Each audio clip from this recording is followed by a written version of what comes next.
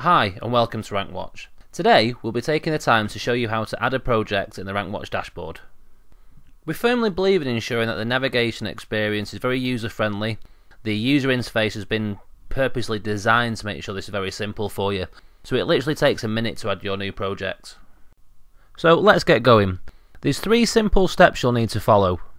The first one you need to do is go to the top of the page and you'll see a drop down.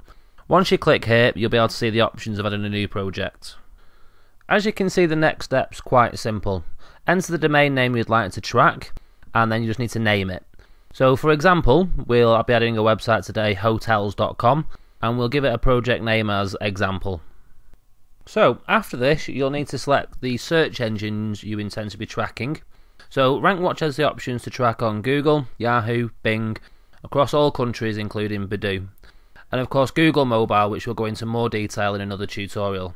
In fact, you can actually add a Google local project from this drop down itself. So for this example, let's just add Google, Yahoo and Bing UK. So as we've selected Google UK, which gives us the option of adding a particular city, since we have the city-based tracking switched on, we'll be able to add London as a target city. What this will do is ensure my project will be tracked for all the Google local places as well. Okay, so now let's add Yahoo and Bing for the UK. There are no actual limits of the number of search engines you can add, and it's not mandatory for you to do so by switching on the tracking for your local keywords. If you don't have this on, what it will do is actually search for the national rankings. Also, what this feature does by default is it will track all your subdomains. However, if you don't wish to track your subdomains, all you need to do is go to the settings menu right below and switch the subdomain trackings from on to off.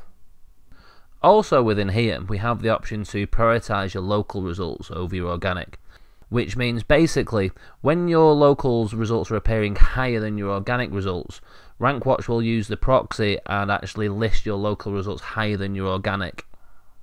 Something I actually just wanted to point out is here at RankWatch we do take a great deal of care and pride in the accuracy of our results.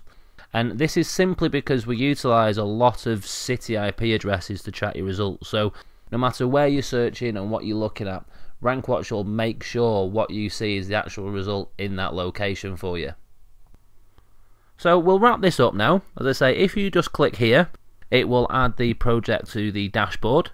But also, I'd like to thank you for taking the time of watching and listening to this tutorial. And if you do have any questions at all, please don't hesitate to contact us at support at rankwatch.com.